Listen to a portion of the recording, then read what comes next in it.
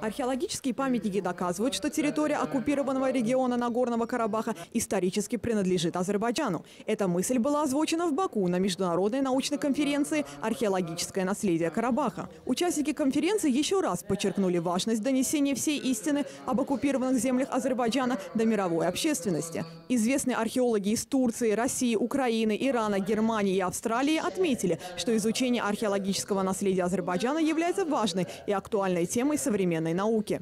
некоторые категории людей занимаются в буквальном смысле грабежом этого наследия. Самое главное, чтобы не давать возможность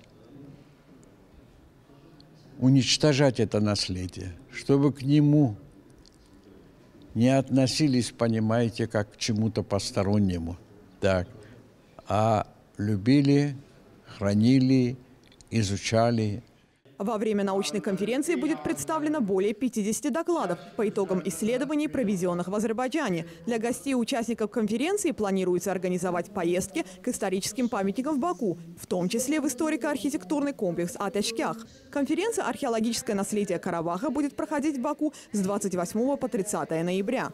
Эсмира Алиева, Орхан Бадалов, Руфат Аликперов, CBC.